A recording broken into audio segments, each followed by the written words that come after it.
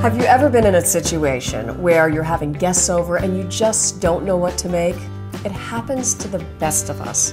When it comes to cooking and entertaining, especially at the last minute, I am all about getting inspired by the ingredients that I already have on hand.